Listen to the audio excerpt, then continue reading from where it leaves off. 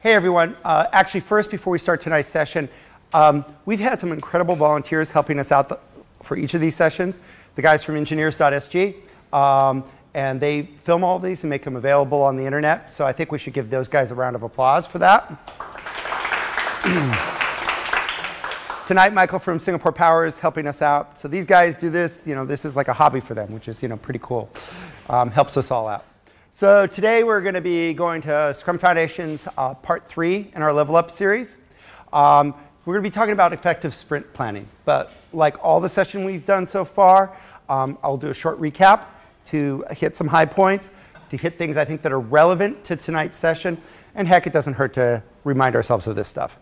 So just really quick, our quick recap. So first off is there's like three things we need to think about when we think about Scrum. First, we need to think about process. Next, we need to think about roles. And third, we need to think about the artifacts. Okay? Now, tonight, we're going to be touching on product backlog and sprint backlog are two of the things that we'll really be touching on. So we'll make sure that those will get brought out. Now, you're going to hear this from me again and again because this is the foundation of Scrum. The fact that it is an empirical process, not a defined process that is a process that is built at its core around you having transparency or visibility into the process, what's going on. Think sprint backlog, think product backlog, think burn down charts, think all of that kind of stuff. And that you're inspecting the state regularly. Think your daily, think your daily uh, scrum or stand up. Think your sprint retro review. Think your sprint retrospective. Think even your sprint planning meeting. Okay? These are all involved in the process of inspection. And based on that, you have to do that inspection frequently. Okay? And as I stress, this is why you don't decide you're not going to have stand ups. This is the wh why you don't decide, oh, we only need to have stand up once a week. We only need to have it twice a week. Because you have to inspect frequently. And then you adapt based on that. Okay? I have seen too many teams who've decided, oh, yeah, well, they say we can adapt Scrum to our needs, so we're going to only do stand, stand up, you know, once a week. Or not everybody has to come to stand up, okay? Those kind of things. That's the thing that you need to understand. Inspect, adapt, empirical process. This is the foundation of the empirical process. And I'm just going to keep hammering it on you because this, if you understand this, you can rebuild Scrum yourself. Okay? This is first principles. From these first principles, you can derive the, the rest of the, of the theory, of the process. Now, how do we apply this? Well, we have the sprint cycle. And the sprint cycle, as I said, we've got sprint planning, we've got the sprint itself, we've got sprint review, we have retrospective, we have the daily scrum. This is the sprint cycle. And you basically can say, how long is our sprint? Is it two weeks? Is it four weeks? Is it one week? You can adapt that. Now, next week we'll actually talk about some advanced topics, and one of the things we'll talk about is Kanban. And Kanban is an empirical process, but it, like Scrum, has some many of the same features as Scrum, but is a different process and one that's more suited to teams that are involved in kind of responding to production instances, um, customer requests, things like that while still having a product backlog and working towards the delivery of the customer value in that backlog. and for tonight, what are we going to talk about? We're going to talk about sprint planning part of the sprint of the sprint cycle. So that's where we're going to focus our attention today. We're going to talk about that, and we're going to talk about how do you do that most effectively. So, any questions before we jump into things? Again, throughout the process, ask questions. I know that that's countercultural, but let's do it, okay? If not, I'll just start calling on people. Daniel's and Albert have been here enough. I just might just say, What do you say, Daniel? What do you say, Albert? okay? Because you've been here every time. So you could be victims. okay, let's go. So, covered this last week, but let's just hit it again. What is a sprint? A sprint is a time boxed period of development where you deliver a potentially shippable product. So one of the things you have to make a, a distinction between in your mind is done versus shipped. Done is not necessarily shipped, but can it be shipped is probably a condition of being done. Because there are reasons why you may not ship. Okay? It may be that product wants to get enough value together to get the consumers in the field to consume it. Because you know, may, there may be a cost, a switching cost. And so there's got to be enough value to make that switching cost worthwhile. Or it's just, hey, press cycles, they know that Tech in Asia will only cover them every six weeks. So they you know, want to make sure that they're delivering value every six weeks. Um, it might be that they want, you know, hey, we want, we're going to have you know, a board meeting. We want to have a, something to, to make them all happy at the board meeting. Okay? These are all reasons why you might not ship, but you're going to be done, you're going to be completed. Okay? Um, another way of thinking of this is deployed versus shipped. Is it deployed? Could it potentially be turned on versus shipped? Sprint planning is just the process of defining the scope of the sprint. It's really saying, what will we do? How will we do it? Now, these are owned by different people. What will we do? Well, that is, excuse me, that is owned by our product manager. How we will do it, that's owned by the product team. We talked about those roles and those distinctions of the roles last time. What will we do? How will we do it? That's really the questions you're asking. So what's the first step of that process? Well, the first step in that is backlog conversion. Good product owners, good product managers are maintaining a product backlog. Now, that product backlog starts from the stuff that's most important, the stuff that you want to ship and get out, to the least important. In addition, your process of definition, your level of definition is going to go from highly defined to, well, it's kind of gleam in my eye. Okay? Now, what happens is there's a process of taking the tip of this list, the tip of this list, and moving it over into a sprint backlog. Okay? Taking the product backlog, the top of it, and moving that over into a sprint backlog. That, that is the essence of sprint planning. Is this process of taking your tip here and converting it into a sprint backlog. Now, how do we do that? Well, first, the product owner is going to tell you in the sprint planning process what I want, what I, what I need here. Okay? And they're going to start with the first thing. Now, this isn't a detailed explanation of it. This doesn't mean that they're developing this on the fly. God help, no, they're not writing the story on the fly. They're not writing the acceptance criteria on the fly. We'll talk about that process and how you get that there. But it's, it's them really kind of presenting it to you. They're making the elevator pitch for, it to you, okay? Now, as a team, they're laying the context, okay? They're explaining the customer value. What I need, what I want here, that's what they're giving you, okay? And they start at the top. And they do the first story or the first task. And the team looks at that and goes, hmm, how will we do this? hmm, what is the complexity here? And they say, yeah, okay, we got an idea for how to do this. We've got a feel for the complexity. And given everything else we've committed to, we can add this to the list.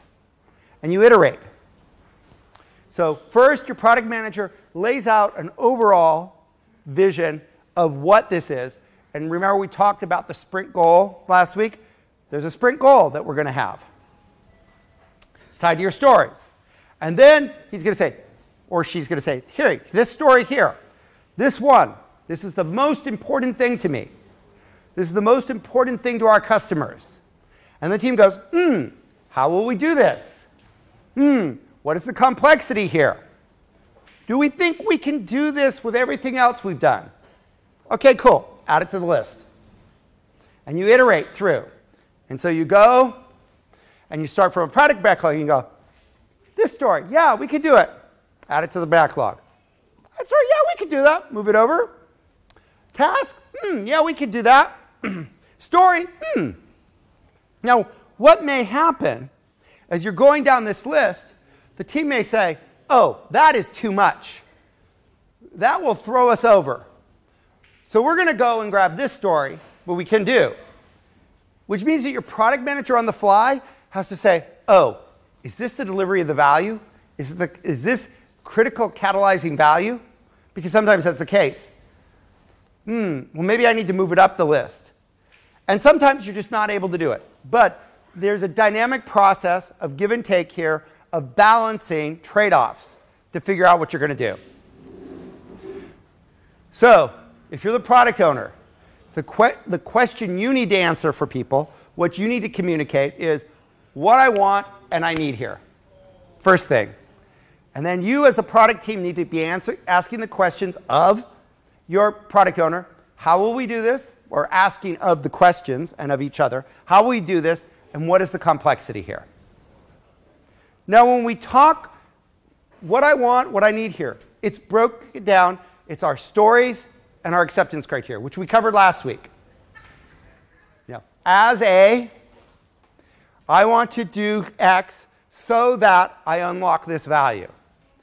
As a, my role, my persona, my interaction with the product, I want to, some operation you want to do, some task, so that I can unlock some value. And then for each one of those stories, there's going to be a set of acceptance criteria that talk about a feature, i.e., a story, and the scenario, and then the criteria that define it to be acceptable.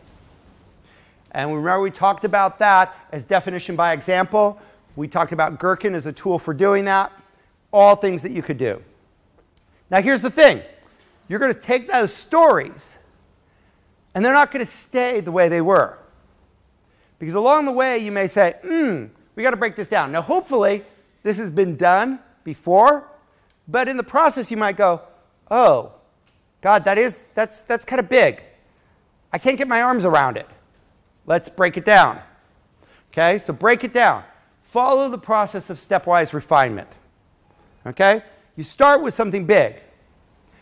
Let's take the example. The story is as a shopper, I want to go to Fair Price.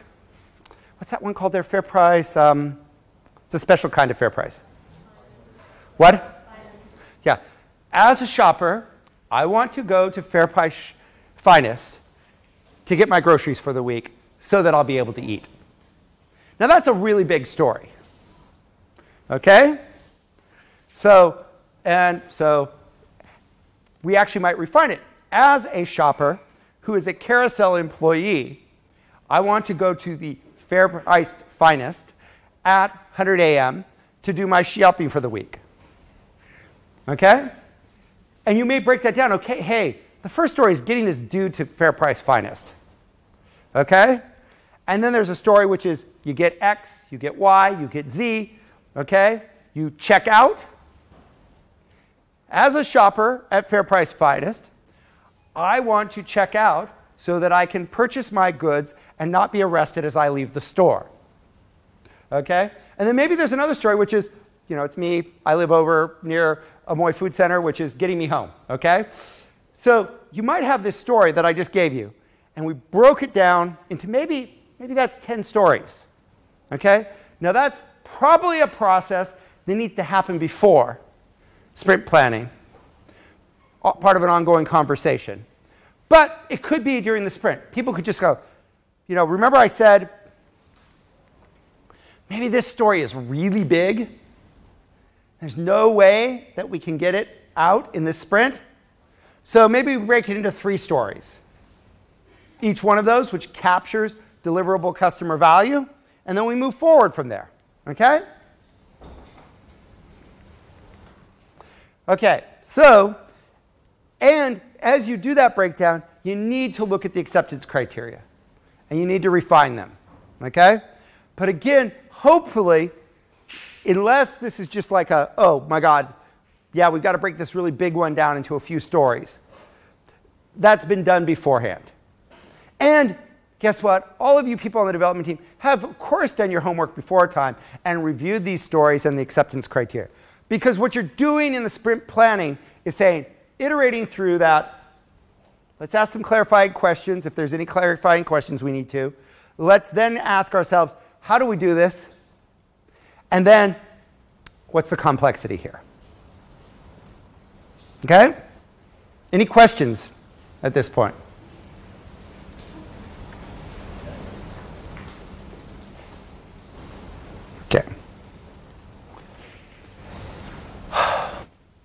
So, talked about how we do this, break it down, stepwise refinement. Now we're going to talk about complexity. So, when we talk about complexity and estimation in the Scrum world, we are not talking about time estimation. We're talking about perceived complexity. Perceived complexity. Has anybody here ever done a cardiac stress test? Okay, so in a cardiac stress test following the Bruce protocol, um, they have you on a treadmill, and they start off with treadmill's level. The treadmill's maybe at 3, 3 kph. They've got you wired to an EKG, so they're listening to your heart. They might even have something in your mouth measuring your blood oxygenation level. This can be either done to see if you're going to have a heart attack and fall over dead, or it could be because you're a really elite athlete, or it could be because you're both. Um, so it's, and what they do is along the way, they say, okay, three minutes in, how difficult does this feel? And you hold up a number. Three. Okay? Do they, do they, do they, is there like some magical scale of what does three mean? No, it's, how hard on a scale of one to 10 do you think it is? Have you ever been in A&E with a bad injury? Or had to go to an orthopedist, like I did with a, broken, with a, with a fractured hip last year?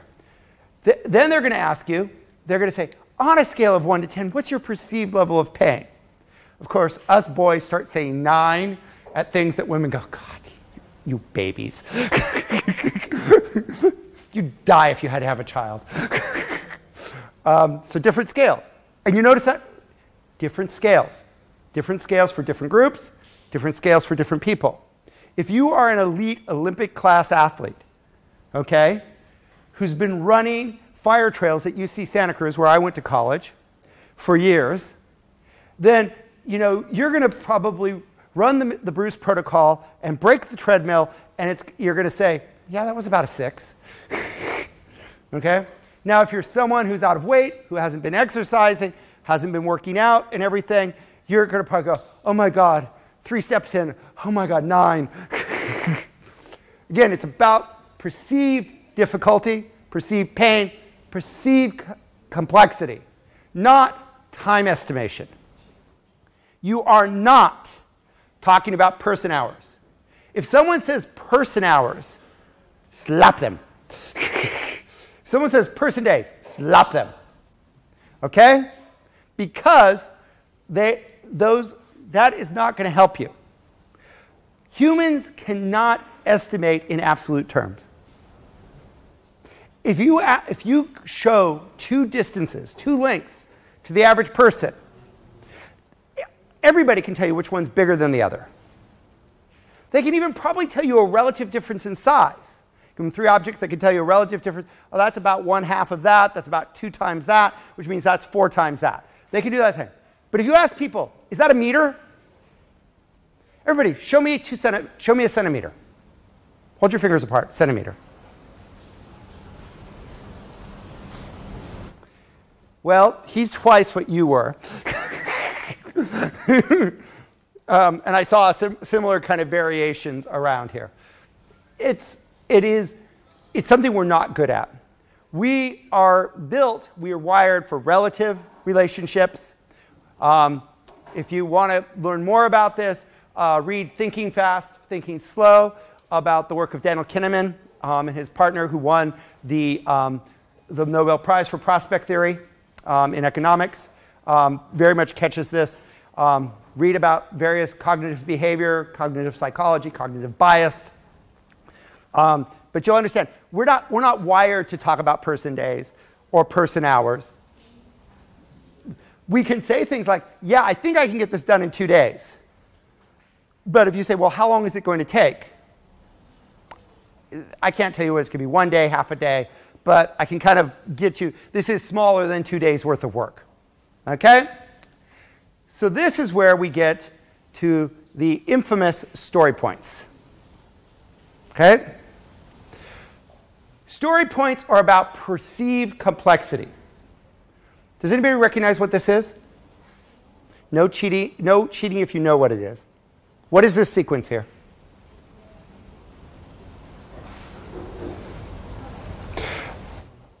A number in the sequence is the sum of the last two numbers in the sequence. It's Fibonacci sequence. Turns out that it's like all over nature. Fibonacci sequences are all over nature, um, and you will find them, okay? Um, for whatever reason, nature likes them, we find them beautiful, um, etc. A nautilus shell is a Fibonacci sequence. Okay? If you've ever seen a nautilus shell. Ties into fat fractals and things like that also. Why this?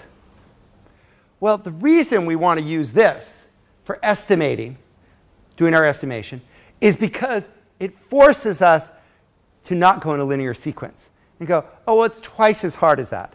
No, it's like, okay, does this feel a three or does this feel like a five? You know? Now, how would you go about this?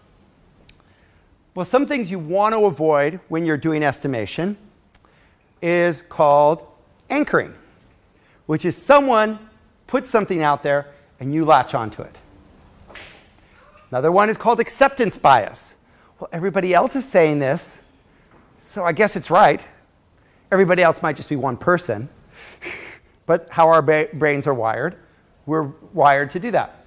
So what you will do, one of the ways to do this and do it effectively, we call it, we call it planning poker, is that there's actually cards you can get that have Fibonacci sequence on it.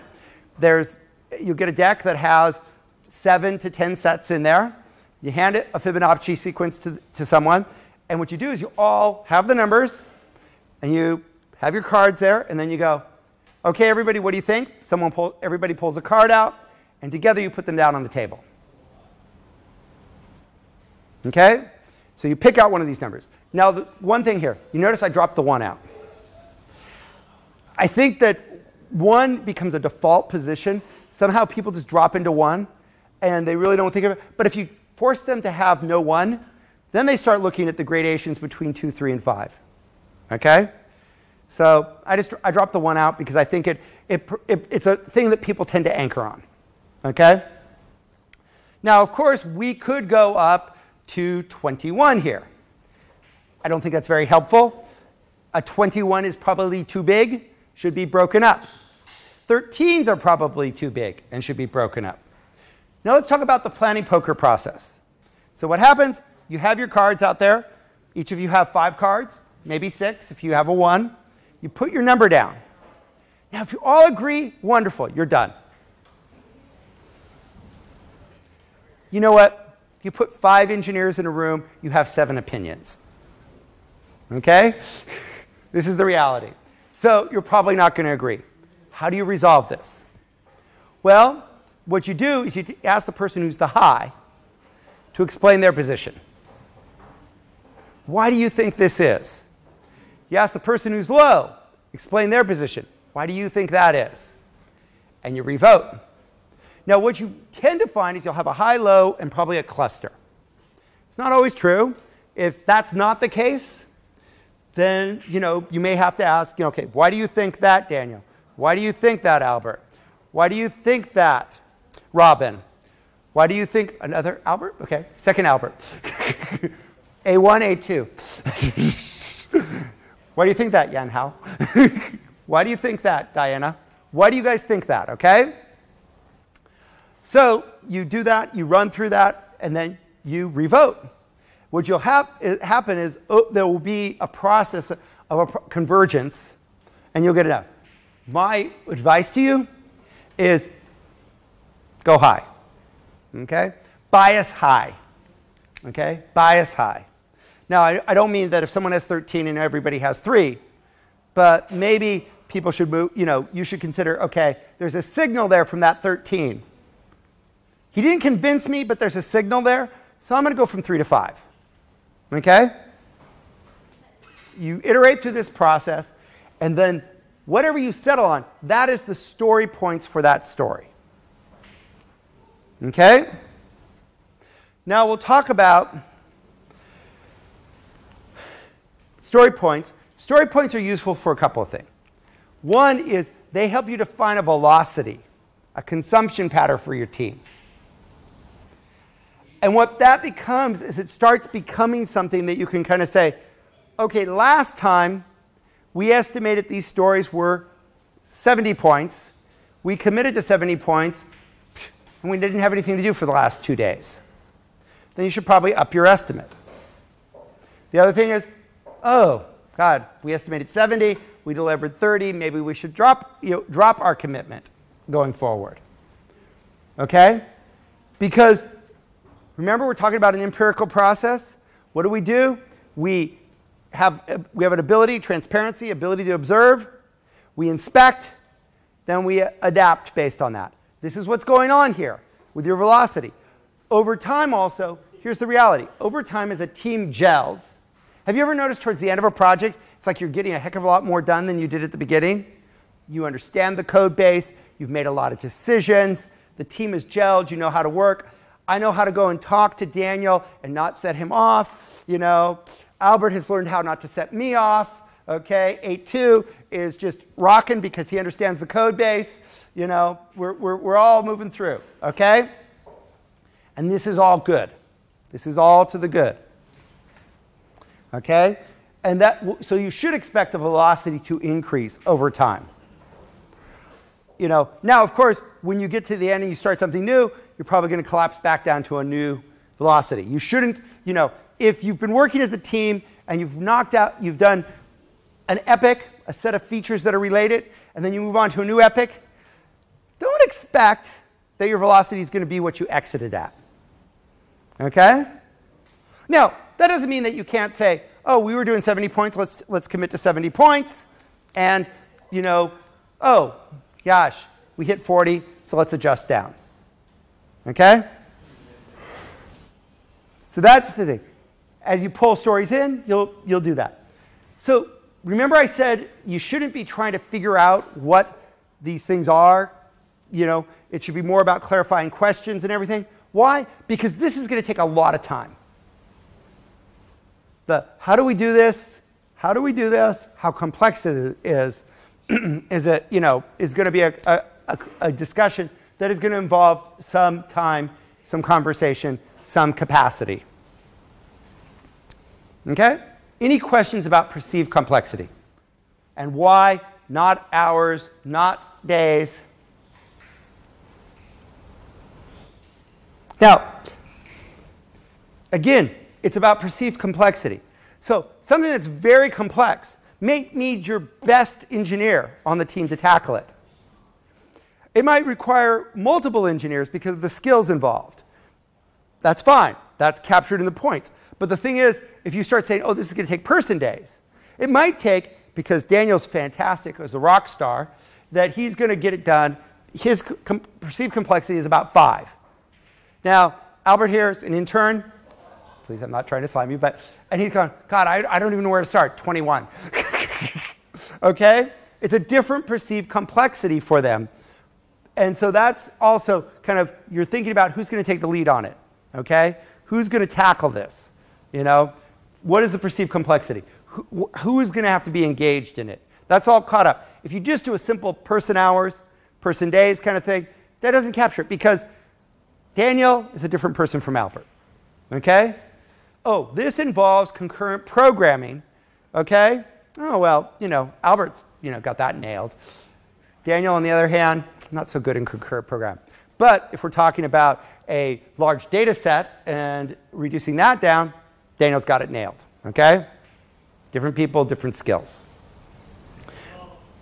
So inspect, adapt, inspect, adapt. See, it comes even here. Okay?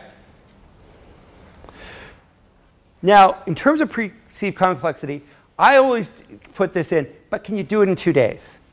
Do you think you can get that done in two days? Don't, don't make that two points. But do you think you can get it done in two days? If you can't, break it down. It still might be a 13, but break it down. Okay? Questions?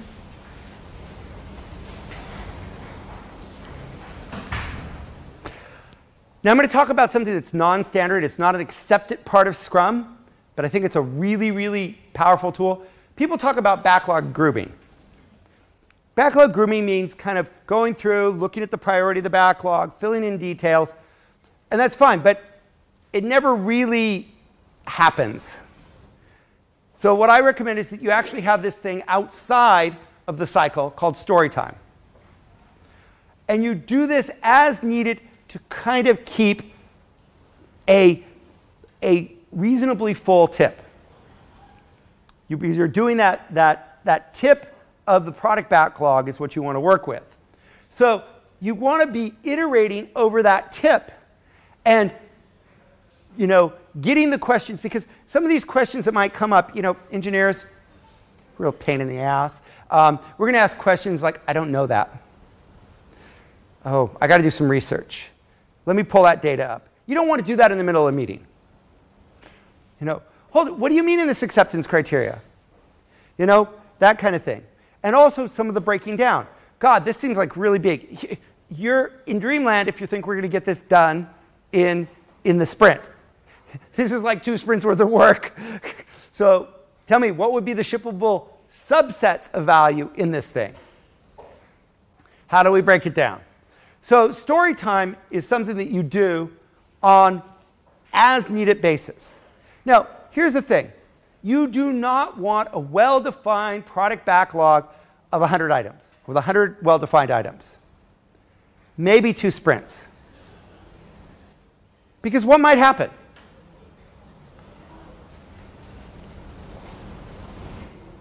Things change. What the customer wants may change. It may be a different piece of the work we're going to do.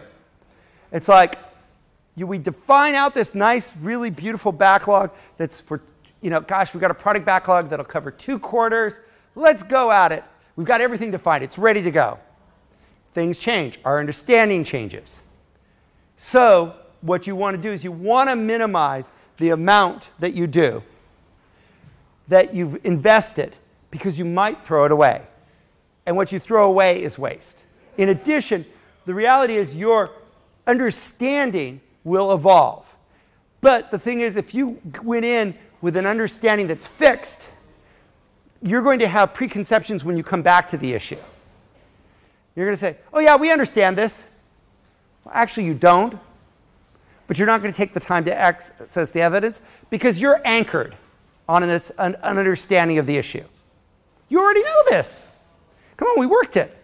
So it's like, yeah, yeah, that's, you know, and you might be off in left field. If you haven't spent time to learn about common cognitive biases and how they affect us, take that time. I'll try to next week have a reading list and I'll try to throw some books on cognitive bias on it so that you guys can look at it. Okay? But um, along with some other books. Okay? Any questions here? Yeah. Yes. Uh, so you're having this uh, story time. Do do you expect the whole team to be involved in that? No, it doesn't have to be the whole team, but it has to be a subset of the team that can represent. So the PO's got to be there.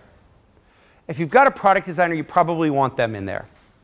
And then you probably want, you know, for somebody who's can cover the waterfront, okay? Who kind of understands the reach of the product. You know, could be a technical lead. You might have a couple of technical leads on the, the team in different areas. You want whoever is going to be the best person to speak about it. And you should think about what it is you're going to talk about and who should be in that meeting. Now, when you get into sprint planning, you want everybody there. The reason I asked that question is, I think you just touched on that. Do you cover design during that grooming phase? You just cover some level of design during that grooming phase. Both product design from the point of view of what's the user interaction at a very high level going to look like. What's this flow? You know, you know, person opens the app. They go to this to this tab. They select this item. Okay. You know, very, I mean, you're gonna that's going to get refined, but at least have a basic idea of it because it's going to, in fact, oh, well, we've got to maintain states between sessions. Yeah, yeah, like that. That's it's like, oh, well, this human interaction that we have, this user interaction we want, requires that we maintain states between sessions.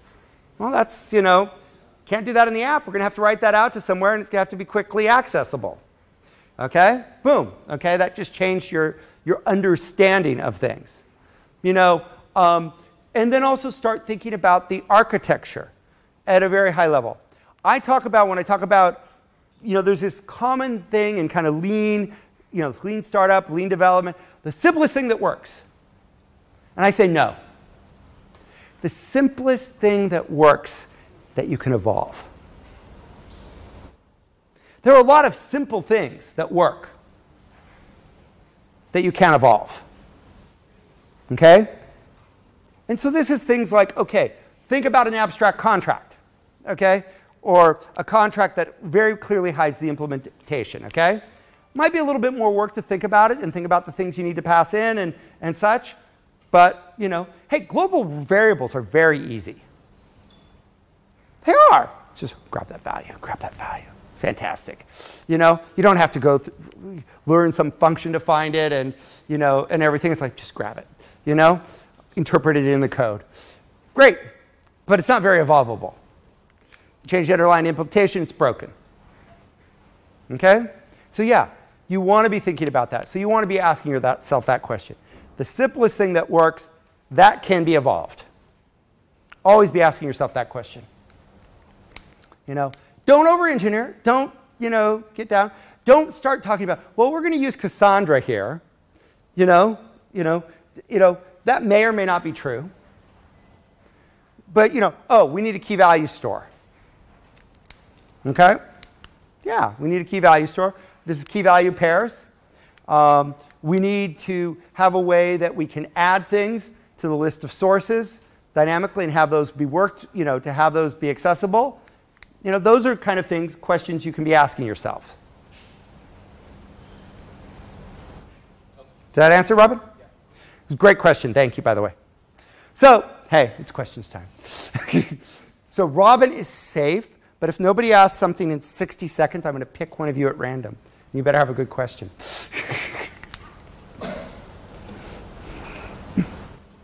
but Robin's safe. He got, he, he got um, immunity.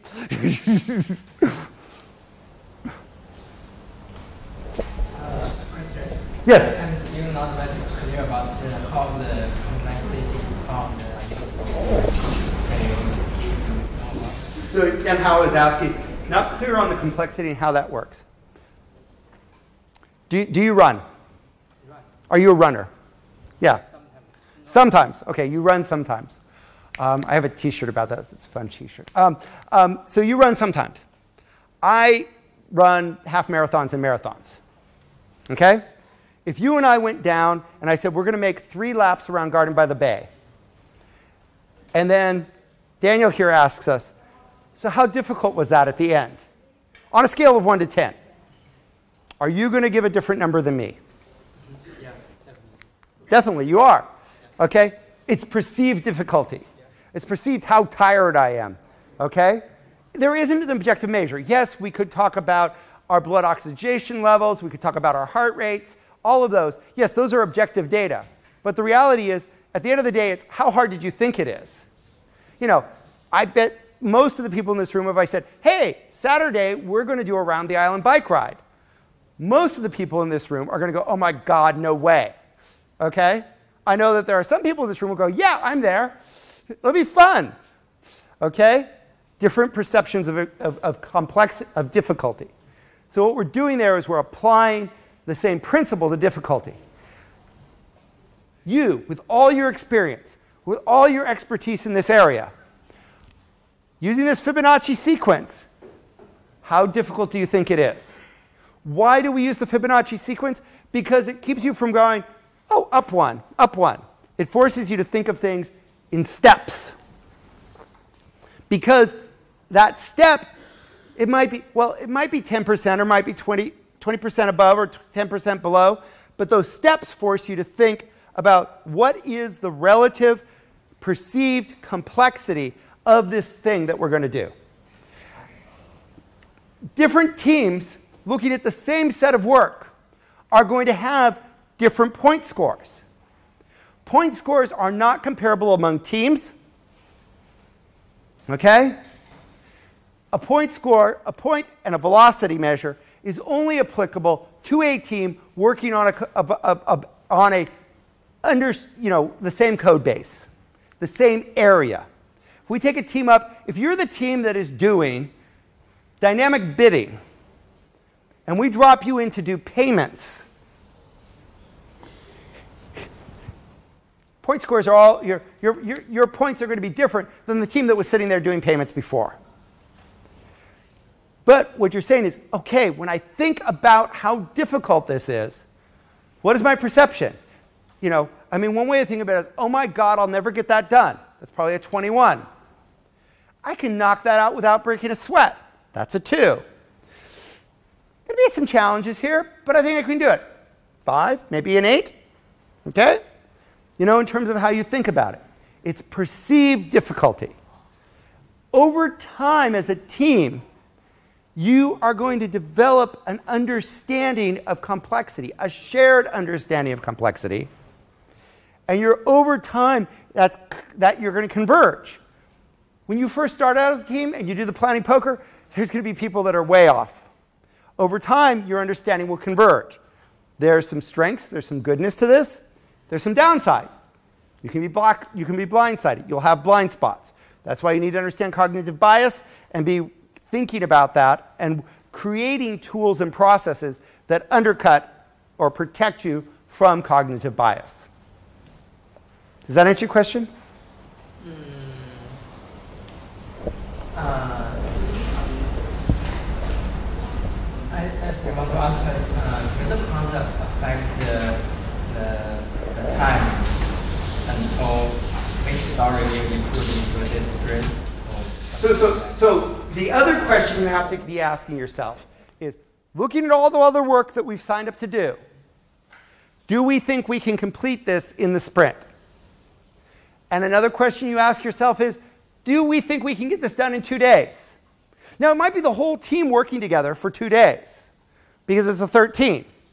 But can we get it done in two days?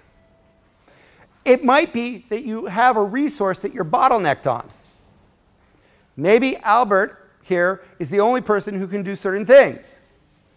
Bad idea, single point of failure, bus number of one, bad idea. But it happens. It's reality. So Albert goes, okay, yeah, um, yeah, I think I can get that done in two days. Now that's the, the other thing, is the person who's going to do the work, the people who are, which you may not have decided at that time, but if it's like you've got a bottleneck, then I shouldn't be telling Albert, oh, come on, Albert, it's, it's, it's only a 2. No, I kind of think this is a 13, Jordan. No, no, trust me, it's a 2. He's the expert. We're going to let him make the call, okay?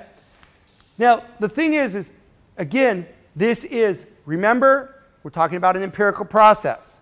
Where we want to have a transparency, we want to have visibility, we want to have measures, and we want to inspect those frequently and adapt based on those.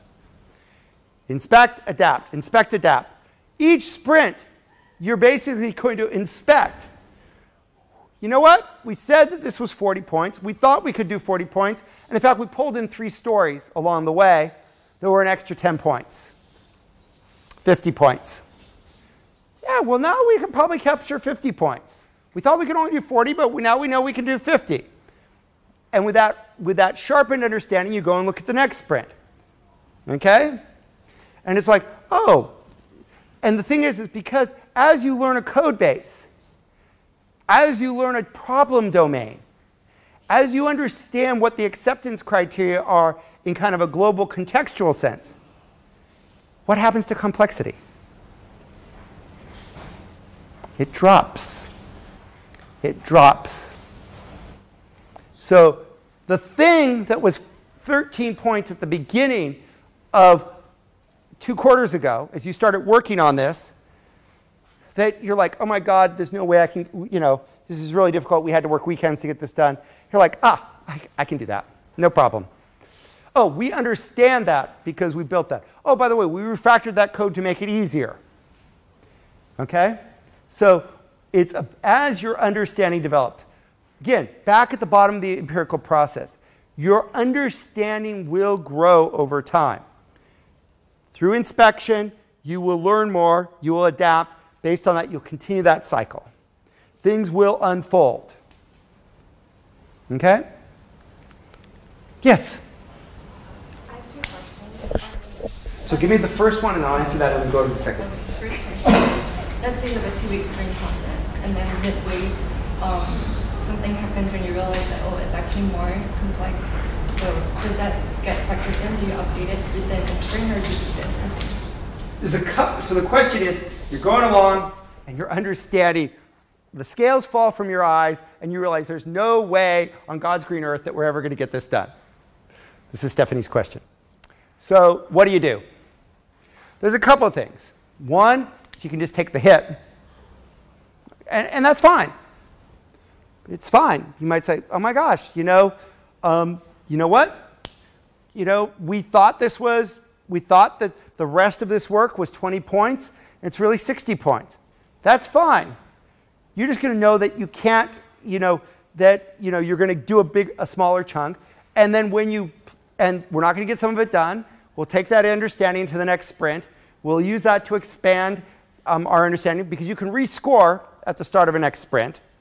You know, because you're going to go. You know what, guys? Remember when we thought that was three? it's more like 13. In fact, it needs to be broken down and all of that. Fine to do. Okay. The other thing is to basically say, God, we did not, we don't even know how to move forward. We're stuck.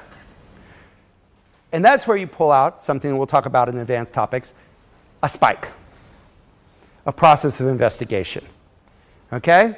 Um, and so what you might say is let's terminate the sprint. There's, here's some unanswered. So here's a set of unanswered questions. We don't know. We didn't pick this up in story time. In the process of grooming, we didn't get the answers here. There's research that needs to be done and everything. So let's, let's terminate the sprint. Let's plan the new sprint with uh, several spikes to explore these things out. Daniel and Stephanie, you go look at this. Albert and Albert, you go look at this. Okay?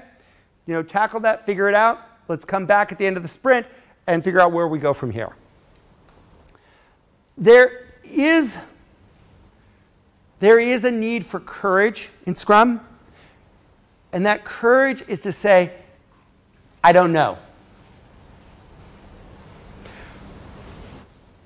Socrates said, the beginning of wisdom is knowing what you don't know.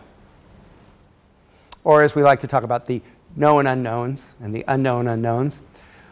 But the reality is, you need to step back sometimes and to say, you know, I got it wrong. And I know that's hard. We want to be the experts. We want to be the people that people come to and ask. You know, it, it's great when people come and say, hey, Jordan, you know, how would you tackle this problem? And sometimes I just look at them and go, I don't have an idea. I got some ideas of where we can start. Okay? Here's like four areas that I'd look at, but I, I can't tell you the answer to this problem. We have to be willing to do that. We also have to be willing and this is a very hard one in any culture, but in particular in our culture in Singapore, to fail. We didn't deliver. Okay? Well, let's ask ourselves what are we supposed to deliver? It's supposed to deliver customer value. Okay? Understanding enhances our ability to deliver customer value. So if we fail, but we get understanding from it, then we're ahead of the game. And this is probably, that there is probably one of the key differences between Silicon Valley and Singapore. If you started a company and it went bankrupt, how long would it take you to get funded to do something else here in Singapore? The response is probably never. I, on the other hand, have observed situations where a company basically called it quits, bust on a Friday, and all of the people at that company were working at new companies on Monday. Okay? I saw a case once, company went bust on Friday, but because the founders were willing to admit it, they sat down with a new idea with VCs over the weekend, and they had a check for, for, for seed funding on Monday. And the only thing that kept them from starting on Monday is it takes a lot longer to start a company in the US, in California, than it does in Singapore. Here, you go online, to ACRA, you file your papers, boom, you're formed.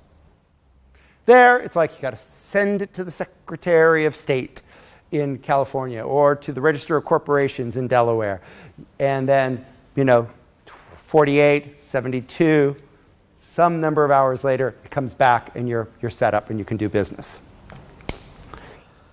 That, so we need to be willing to admit that we don't know, which at one level goes back to failure. And the second is willing to admit that we failed. Guess what? The sooner you admit you fail, the faster you can correct. Let's take this to kind of a, a situation. Let's say that we're talking about an engine, some kind of motor, a jet turbine, okay? a gas turbine in the power plant. If we look at the data and we say, and the data indicates that it's about to fail, and we're unwilling to admit to it fail, that it's going to fail, what happens to the turbine? Blows up.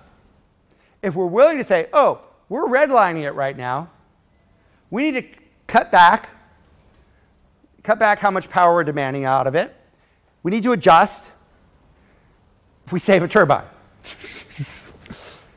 but, you, but you understand, you admitted failure. You were unable to operate that turbine as specified. And there might be consequences. That might mean a brownout for your power customers. Okay?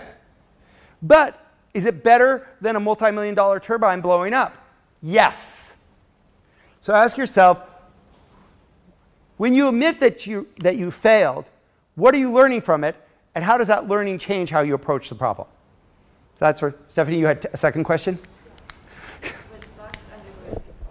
What? Bugs. Uh, yeah, I think the bugs. Now, the thing about bugs is that bugs really do have an exploratory problem, but most engineers, you, you show them a bug and they go, "Oh, that's when I yeah, I already know what that is." God, yeah, I know what that one is. Yeah, in fact, I should have ridden around that case and dealt with that. That's a two. Okay? the other one is, oh my God, race condition. Um, this is only appearing in production. We don't have a reproducible case. This involves uh, multiple processes running concurrently. Uh, probably a blocking problem, maybe some part of the, the banker's algorithm at, at play here. Hmm, 21. yes, I think that, you know, we talked, we go back, going back to the picture. I did you a disservice here because there should have been bugs in here too. Okay? Is a fix to a bug customer value? Then it should be in the product backlog. Then it should be in the sprint backlog.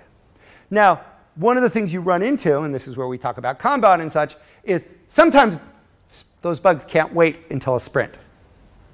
It's like, we need it now. Well, how do you deal with that? There's a couple ways, and we can talk about both two of those real quickly. One is that you are not using Scrum, but you're using Kanban, which we'll talk about as a process, and you basically shift a whole bunch of stuff out of work in progress and pull this in as work in progress. You maintain what's called a WIP or work in progress limit, um, which is how many items that you're working on in parallel. Um, usually, if you're a team that's doing pairing, then it is team divided by two. If each person is working independently in parallel, then it's no more than the team size. Okay? And the other way is to actually have a team that that's their whole job. Their job is to troubleshoot and fix issues. Now, it turns out that there are, in, there are when you've been working on a product for a long time, there are people really senior who like just hate those problems in the product. And they'd actually just like to go fix them. So you're going to build this team and rotate some of your most senior people into it. And then what you do is you have these senior people here. And then what you do is then you bring in some junior people, and they work with the senior people, and they quickly come up. You know, you've got these guys who are fresh out of college, and in six months they know the code base backwards and forward. They know it better than people who have been there for two years. One, because they just had to jump around it, and second, because they were working with these real senior people. Sometimes it's called a support engineering, customer, customer response engineering, you know, customer issue engineering. You know, you, you can come up, but the idea is they're the, they're, they're the, the firefighters, okay? They deal, you know, they deal with the car wrecks. You know, other people deal with driving the buses back and forth. okay? But it works. Okay? Ways to approach it. There's other variants and everything, but yeah, it's work you're going to do, included in your backlog, sprint, and, and product backlog. Um, force the product manager, the product owner, to say, how important is that? Because the reality is they come to you and they say, oh, these are all important. These are all priority. Well, actually, we go to the Latin roots of priority. It refers to the one. You can't have multiple priorities. Misuse of the, of the word. um, priority, uh, singular form. Um, so force them to do that. There is always, there is always a stack rate. There is always, I, will, I want this before I want this. Now, that might be a decision tree. If you can't give me this for within two weeks, then I want this over here in two weeks. But if you can deliver it in two weeks, I want this, and this can wait. So again, it's, it's laying out those, that decision tree, that hierarchy, and how it works.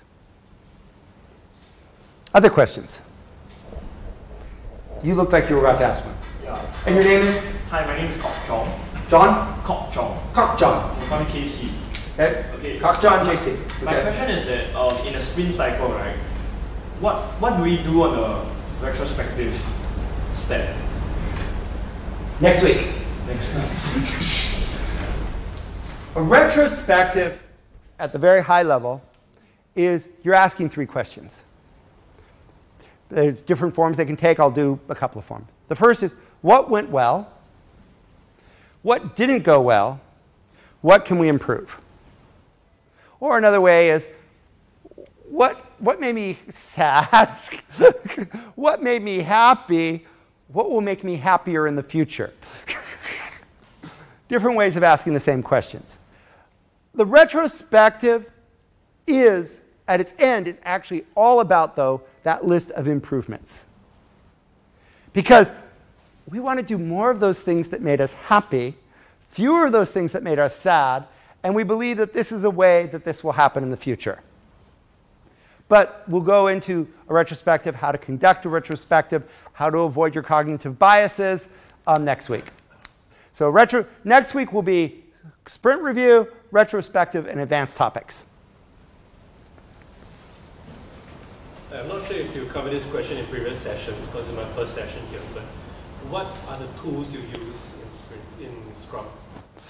So I talked about the artifacts. There's lots of tooling that support that, okay?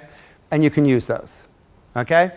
Um, the artifacts, I mean, you can get, you can do Scrum with a wall, some tape on the wall to create lanes, post-it notes with tape across the top, and post and or index card with tape across the top. You can get fancy and use post-it notes if you need to. That you can do all of that. You can do this with index cards, sharpies, some tape. That's all you need, and a piece of paper and a ruler. And from that, you can build a board with swim lanes.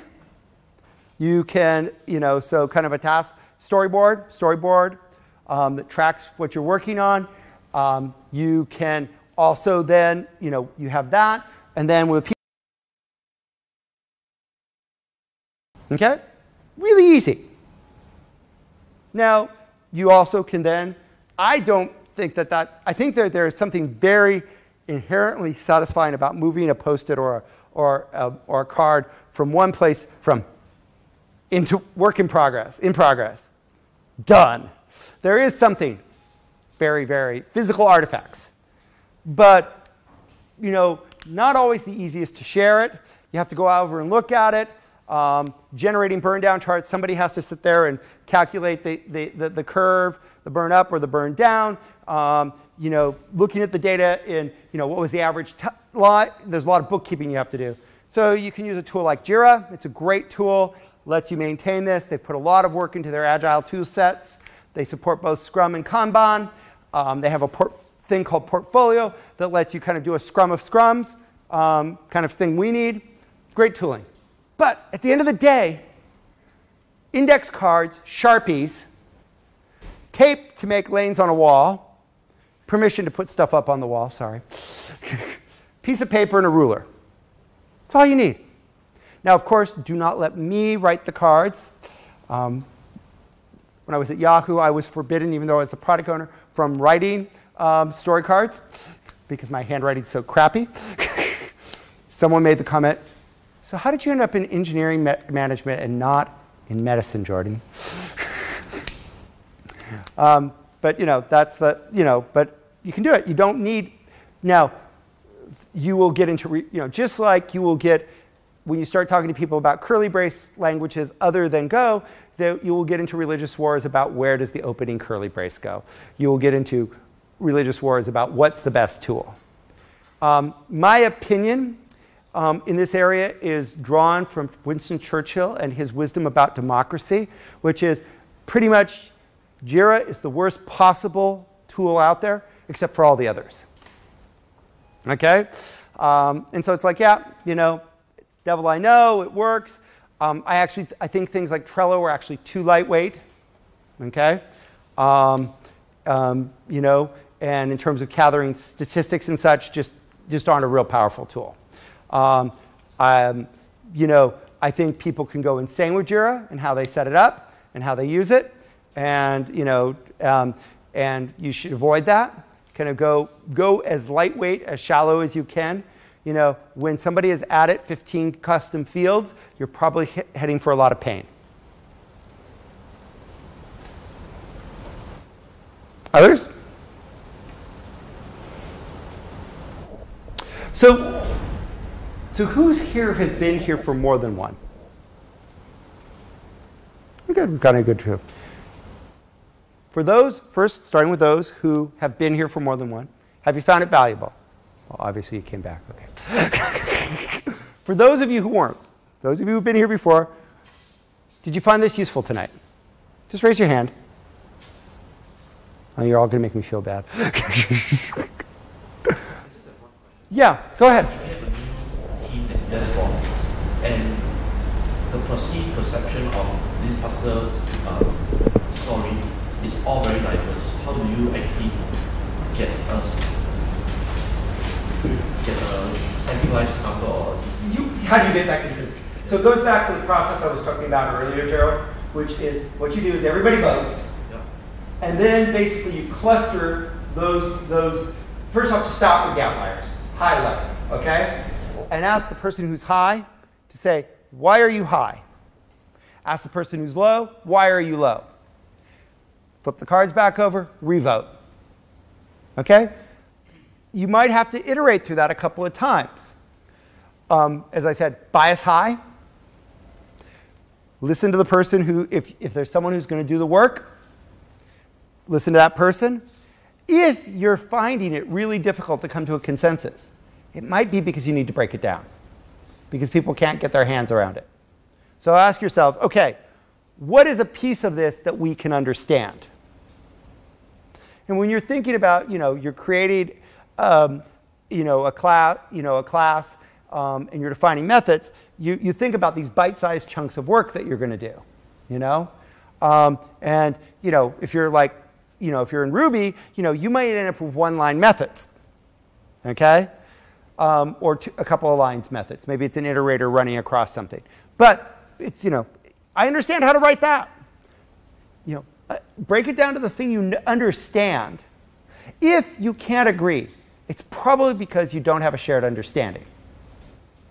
Now, you also might have a diversity of skill levels on the team.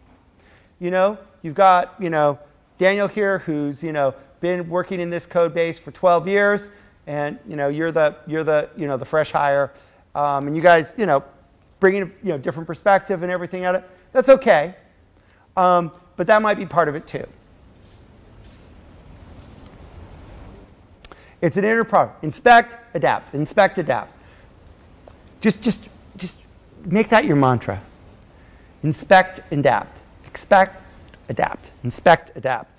Everything you see, if you look through the lens of that, then all this stuff starts making sense and you know what to do.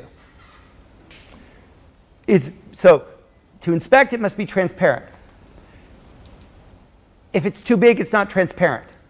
Break it down until it's transparent. Then you can inspect it. And then you can adapt based on that. Other questions? Hi, my name is. Um, first of all, I think it's great that you touched on the, on, the topic about complexity and its relative. It's a very good point. Um, the, the other one you know, I'd like to ask is, is on, on prioritization, mm-hmm. right? Sprint prioritization. So um, maybe this is a bit of a cheeky question, but would you go for the low-hanging fruits, um, or would you go for would you try to take the the more complex project? Um, and I'm throwing this in, given that they have very different payoffs, let's say benefits, right? So let's say the big project is a lot more complex, but it's a lot more. It's going to bring you a lot more benefit uh, versus these small projects that, when you accumulate, um, might not bring that much benefit, but it's still a significant win. So first thing is how this was stack rank going in. Um, that should be a reflection of the perception that the product owner has of the customer value, which might be the value to them or it might be them as a proxy for people. So, yes, you should inform yourself by that. But the goal is to complete as much customer value as, as possible. An incomplete story is of no value. Okay? Okay? So one of the things is again, do you think you can get it done? Okay? Um, so, you know, so one is, you know, yeah, let's just take these and swap, you know, if you can parallelize the work, have everybody jump on one story at once and knock it out really quickly. And then move on to the other, move on to the other, move it on to the other. Which one you tackle, that's, that is actually up to the, the, to the development team. That is the, the engineering team. They're the ones who decide how the work gets done. The PO, the product manager, decides what work gets done. The development team gets to decide how it gets done and how much they commit to in a given sprint, in a given quanta of time. So I, I mean, you know, both, depending on situation, both can be the right answer. You know, if that big story is the centerpiece of your sprint goal, then God, yes, you better get it done. Maybe knock it out first. You know, the old, you know, eat that frog, you know, kind of approach. Um, but maybe it's like, you know, nothing is really the centerpiece, and that thing's more complex and has more uncertainty. Does it have more uncertainty? I mean, here's some things to ask yourself. Is there more uncertainty? Is there external dependencies? So we better dive into this. But also remember that something can be worked on and then move back out of work. In, out. That's an acceptable cycle. You move it in, you do some inspection, you're like, oh, we got to split this up into a couple of stories. And that's fine. Okay? It's fine. Um, so, kind of, you know, there isn't one size fits all answer. Um, you know, but first off, how it came in, how that was organized, that is the perception of value. Um, now, sometimes people will, you know, you know, put a story value, especially if you move into an agile, uh, into a, a, lean methodology. There'll be kind of a, a value attached to it. Um, sometimes that's dollars. You know, I've asked, I've, I've, I have asked as a product owner, I've asked, you know, I've gone to salespeople and said, here's five things we're looking at. Tell me how many deals you can close with this. Tell me each deal and how much, you know, like, you know, we have four packages. Tell me how many of each package you could close if I deliver this. Great way to figure it out. Great way to figure it out, you know? Um, and I've made this quit working. Oh, well. I did something that killed it. Oh, well. Ah. So, yeah. Other questions? Yes? You mentioned about spikes, right? Right. So would you uh, plan a spike during the sprint planning in parallel with the user stories or how do you do it? A spike is a form of story. We'll go into that in more depth next week, but um, it's just something where the, the deliverable there is a decision. Yep. Okay? It's we're going to use MySQL or we're going to use Postgres. It's, it's we're going to deploy on Ubuntu versus Gentoo, you know, you know, Red Hat, you know, pick your Fedora, pick your, you know, your poison. It's, it's, it is, it is a, and the acceptance criteria there is, you know, you define up front. We're going to measure these criteria. You know, this is how we're going to do it, and then it's how you do that work. You know, um, they spikes can be go from um, kind of fuzzy to extremely fuzzy in terms of what you know going in. So if you have a case where uh, maybe you started with a sprint and then probably maybe a couple of days in you realize that oh you don't know how to do this. So that's where, yeah. So we actually had that case recently here. Um, what the team did, and I applaud them. This was great. They were about four days in. They realized that they what they thought they knew was completely wrong. They abnormally terminated the sprint. They planned a one week sprint with three spikes in it, and that was all they delivered. Um, and I was very proud of that team because they admitted what they didn't know and they, they, they failed. But in failing, they paved the way for greater success. I couldn't have been prouder of the team. Okay? But if you know that there's things you need to know, the other thing is um, there's also a process, as if you're doing this, where you need to think about long pole, long poles. Like, for example, one of the long poles I had when I was at Yahoo and we were deploying Chef was we needed to have ACLs defined for us. And that is actually a fairly involved, lengthy process. It's not self-serve. It's not like working with, you know, VPCs in AWS. Um, and so we had to figure out what we wanted up ahead, and we had to request those. And so we had to be, as I like to call it, driving ahead.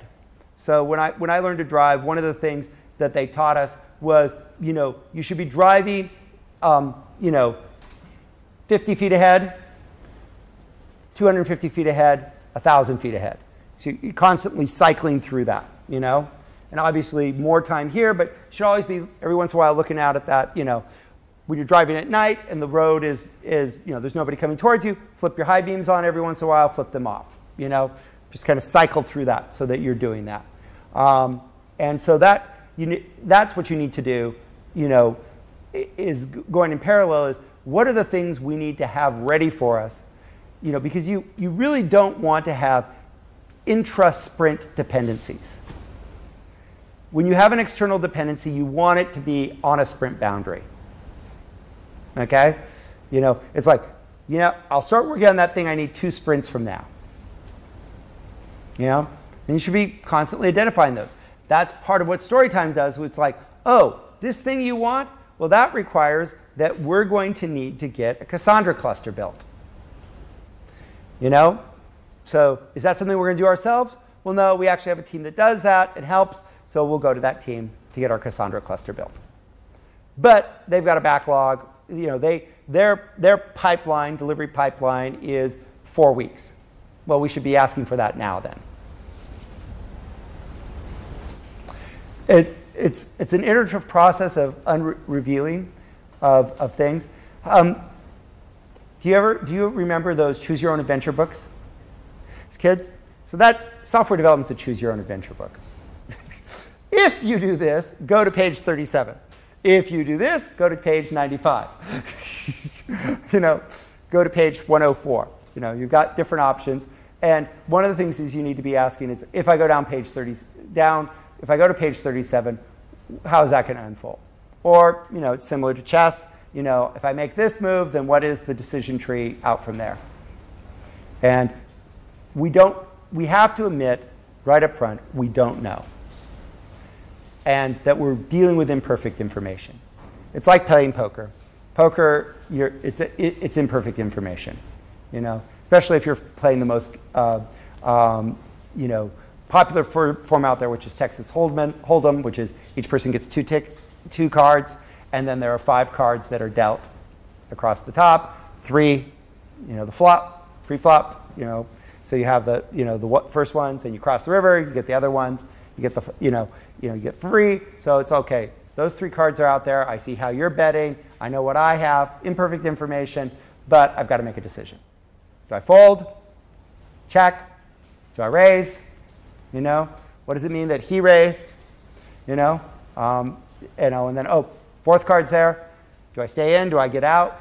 You know, you know, you're you're. It's the same kind of thing. You know, what, given the information I now have, what is the decision I make? Okay. Anything else? Well, then let's call it a night for tonight. Um, next week, again, we will be talking about the sprint review. We'll be talking about the retrospective.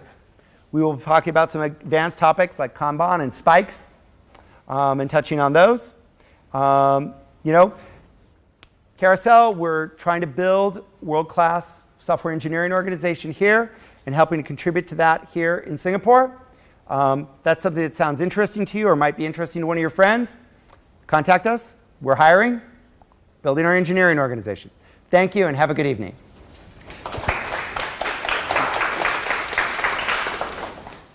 Thank you, Michael.